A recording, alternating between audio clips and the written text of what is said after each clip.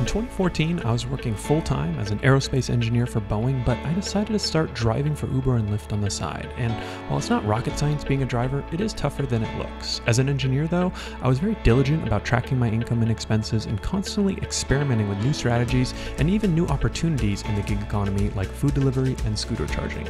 Along the way, I started a blog to document everything I was learning and to share my journey with other drivers. I called it The Rideshare Guy. What started out as a one man show has now turned into my full time job and boasts a passionate community of hundreds of thousands of followers. The Rideshare Guy is now a well known digital media presence that spans across the blog, YouTube channel, podcasts, courses, books, and more. We've got a team of writers and content creators from around the world and have established ourselves as driver experts where anyone can come to learn how to make the most of their time driving for Uber and Lyft or working in the gig economy. What started off as a blog is now a voice for the industry.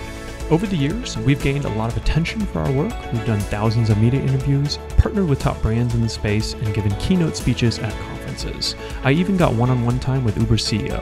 But throughout this journey, our ultimate goal has always been to make a positive impact on the rideshare industry and specifically do what we can to help the workers who power these billion dollar companies. And we have. So, whether you drive for Uber full time or you just want to make a few extra bucks with Lyft, wherever this industry takes you, you can be sure that we'll be there to guide you every step of the way.